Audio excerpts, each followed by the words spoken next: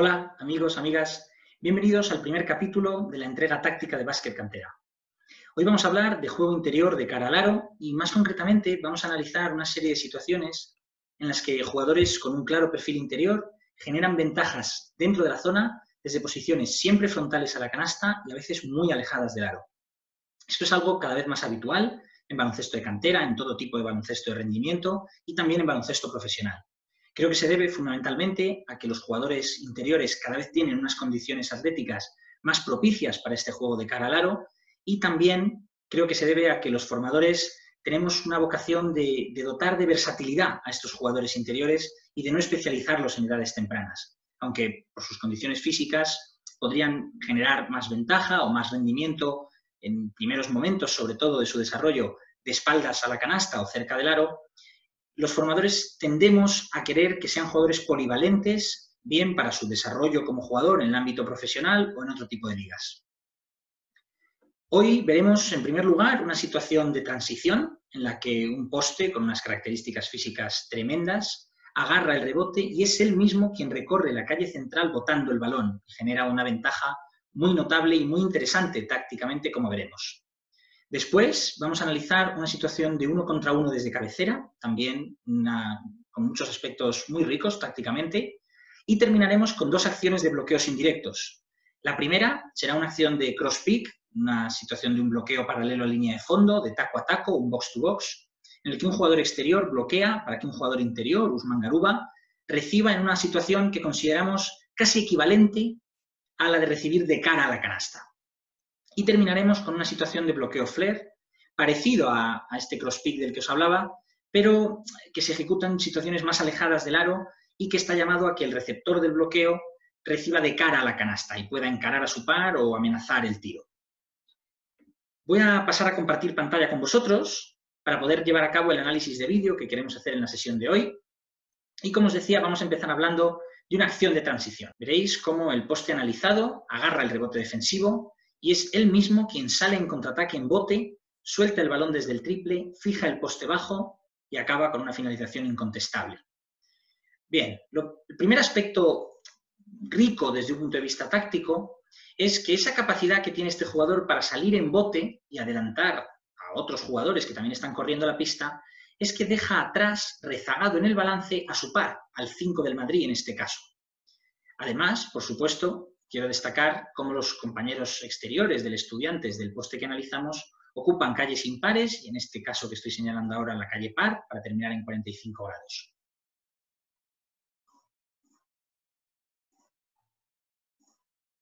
Fijaos cómo no es un bote de velocidad técnicamente impecable, pero sí es destacable por la coordinación que implica y vamos a volver a pausar aquí el vídeo para que veamos cómo se materializa esta ventaja.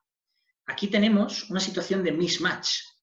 El jugador del Madrid, que ha llegado el primero a cerrar el aro en el balance, es un jugador exterior y de hecho es el jugador más bajo de los que tienen en pista. Por supuesto, el par de Gilad Levy, del 5 que ha subido botando el balón, ya ni siquiera aparece en imagen. Y eso lo que ha permitido es una ventaja física cerca de la canasta que firmaríamos en cualquier momento de la posesión, pero que es especialmente destacable en estos primeros segundos, en esta situación de jugar llegando, en transición. La capacidad del 5 para botar el balón y adelantar a su par genera una clara ventaja cerca del aro, porque no va a haber un par equiparable físicamente que le pueda defender. Eso él lo sabe y fija el poste bajo. A mí me parece importante destacar que los jugadores exteriores que han acompañado la transición no tienen la aspiración de recibir el balón después de que se produzca este pase al poste bajo. Nadie corta, nadie la pide. Aquí tenemos un jugador activo de manos, pero que no corta. Este jugador que pasa tampoco busca un mano a mano, ni busca recibir con un corte sobre el poste, porque saben que la ventaja que se ha generado gracias a esta acción de recorrido por la calle central es suficiente, es una ventaja más que suficiente.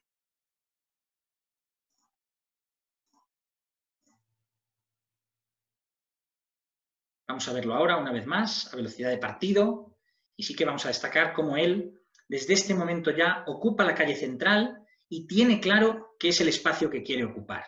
Nunca va a abandonar esta calle central. Él, después de soltar el balón, corta el poste bajo para maximizar esa ventaja física que ha cimentado gracias a su capacidad para salir en bote y para dejar atrás a su par, que no es capaz de llegar a recuperar. Vamos a terminar de ver la acción a velocidad de partido y pasaremos a nuestro siguiente análisis.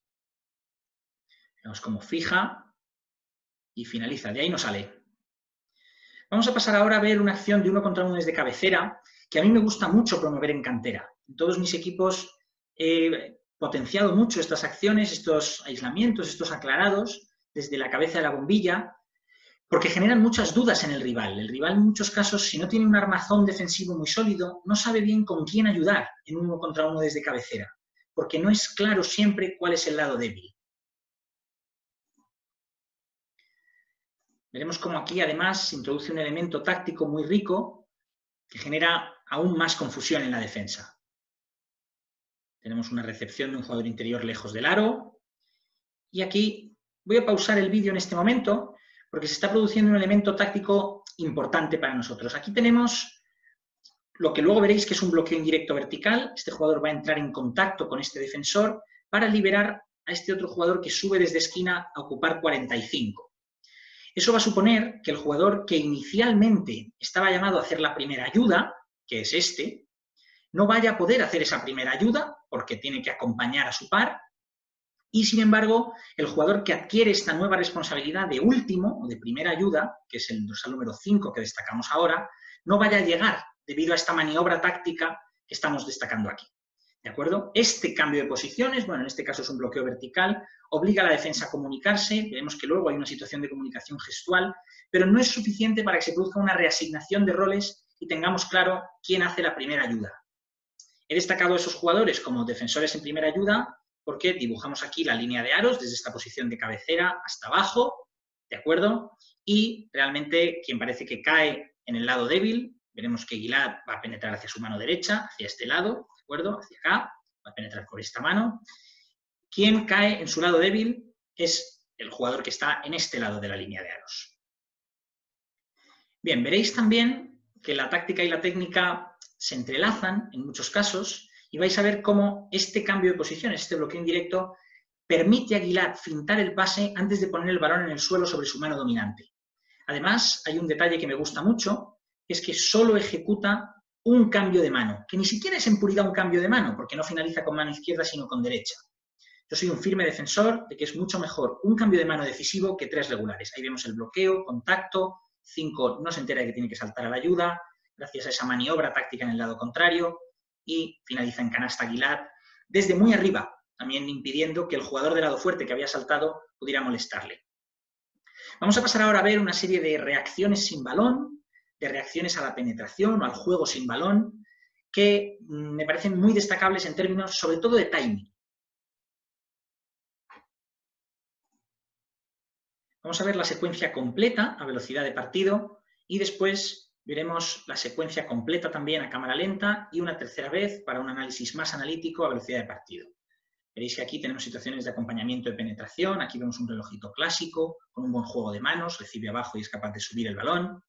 Aquí también buen timing de salto y buen timing de juego sin balón. Bien, en esta primera acción, que es mi favorita de la secuencia, lo paro aquí, vemos cómo Gilad es capaz de abandonar una posición cercana al aro para, primero, dejar espacio a esta penetración y, en segundo lugar, generar esta línea de pase que estoy sobremarcando en la línea de desplazamiento. Es un movimiento que no es intuitivo, y menos para un jugador interior. Es un movimiento que hay que trabajar con nuestros jugadores. Genera una línea de pase y después toma una gran decisión táctica, que es no seguir acercándose al aro, porque se chocaría con el defensor, y finalizar en el corazón de la zona. Fijaos cómo sobre la penetración deja espacio, genera esa línea de pase en vez de chocarse con el defensor que espera debajo, sube el balón arriba por encima de la cabeza donde nadie puede llegar y finaliza. Bien, aquí, una vez más, lo destacable es el timing. Digo una vez más porque en la situación anterior también vemos una mm, buena ocupación de espacio en relación con el tiempo. Pero aquí aún más. Me parece verdaderamente digno de mención cómo él está ocupando el espacio, fijaos en este pie que está fuera de la zona, ojo al detalle, y este otro pie que está dispuesto. Pero dispuesto, y digo bien dispuesto, no, no se anticipa, no se precipita, no ocupa el espacio demasiado pronto y además está en un constante contacto visual con el balón. Fijaos cómo él está mirando el balón. Hay una línea aquí de mirada claramente con el balón para poder atacar el aro en el momento justo, en el timing exacto. Fijaos cómo espera, da ese paso, recibe el balón y lo sube. Una gran capacidad también de coordinación de manos y pies. Ahora, la siguiente acción que vamos a ver es una acción de relojito clásico. Seguro que todos lo hemos trabajado alguna vez. Una penetración hacia fondo de jugador exterior tiene que generar una reacción de formar un círculo o un relojito del jugador interior, ganando aquí corazón de la zona. Lo verdaderamente relevante no es solo este movimiento sino, sin balón, sino el timing con el que lo hace.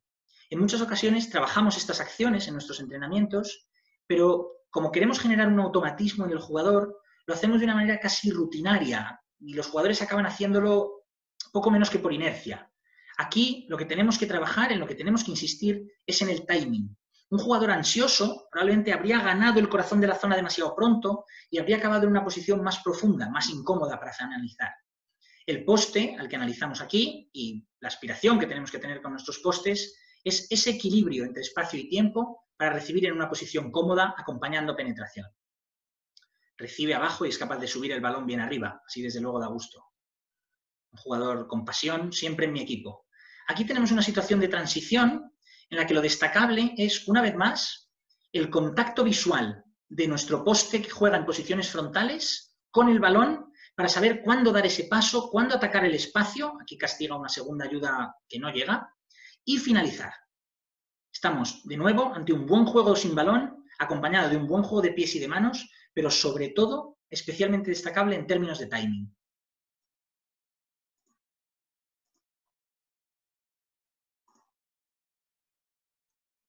Es algo que podemos trabajar, que de hecho es importante que trabajemos. Aquí vamos a ver la secuencia completa otra vez, situaciones en las que se aleja del balón, situaciones en las que espera el momento de atacar el espacio, castiga segundas ayudas, siempre con el timing como común denominador para poder finalizar y producir desde posiciones frontales al lado. Aquí acompaña la penetración en el momento justo, su envergadura, por supuesto, ayuda. Vamos a pasar ahora analizar una serie de acciones eh, derivadas de bloqueos indirectos. La primera, como os decía, es una situación de box-to-box, en la que el jugador interior que recibe el bloqueo, Jesús Mangaruba, termina en una posición equivalente a una recepción frontal. Por supuesto, en el capítulo sobre juego interior de espaldas a la canasta, veremos más situaciones de este tipo, con estos cross-picks, estos bloqueos paralelos a línea de fondo, pero hemos querido incluir esta situación aquí porque la calidad del bloqueo es tal y la toma de decisiones es tan buena por parte del jugador interior que realmente es equiparable o casi se puede clasificar como una situación de recepción frontal jugando de cara al aro. También, por supuesto, hay elementos de técnica individual. Fijaos ahí cómo se juega el bloqueo, un bote potente que le da estabilidad, y aquí vamos a hacer un breve reconocimiento de derechos, que siempre es importante. Y vamos a pausar la imagen pronto en esta toma a cámara lenta para que veamos el contacto en el bloqueo.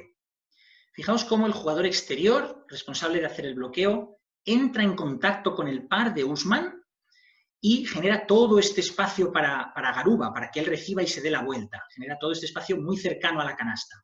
Por supuesto, la labor de Garuba de swing, de llevar el balón de esta cadera derecha a esta cadera izquierda, y ese bote duro, ese pro hop, ese bote potente que le da estabilidad, es un trabajo excelente en términos de toma de decisiones y de técnica individual. Pero realmente todo el espacio que le genera este bloqueador a la espalda, anulando casi la posibilidad de que su defensor se ponga delante o llegue a obstaculizar la penetración o la finalización, es verdaderamente destacable. Vamos a verlo otra vez a cámara lenta para poder apreciar toda la ventaja que se genera en esta situación. Y lo veremos una última vez a velocidad de partido.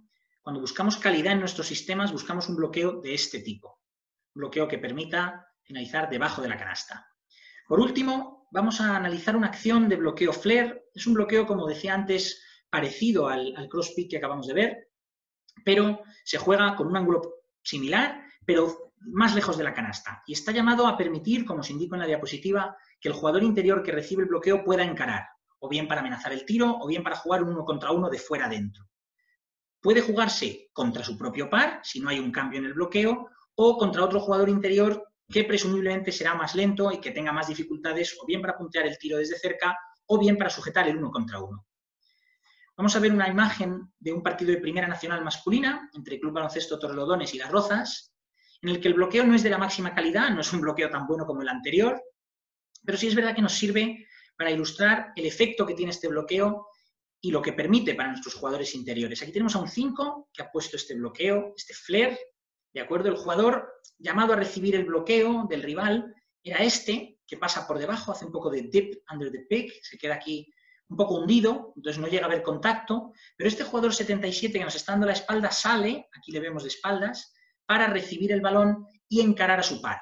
Si hubiera habido un cambio entre los defensores, el jugador rojo 77 se habría quedado con este jugador de Torrelodones, presumiblemente más lento o con peor juego de pies para aguantar. Esa es una de las finalidades que se persiguen con este tipo de bloqueo. Vamos a ver la acción, ahí encara, después se juega una inversión, no se genera una gran ventaja, Vamos a verlo una segunda vez a velocidad de partido para poder apreciar la trayectoria del corte, el cambio de ritmo que quiere llevar a cabo el 77 para ejecutar y enseguida se pone de cara al aro, cumple el objetivo del bloqueo. Bien, voy a dejar de compartir pantalla con vosotros para despedirme. Hasta aquí este primer capítulo de la entrega táctica de básquet cantera. Espero que lo hayáis disfrutado y os veo en la próxima, sin falta. No falléis.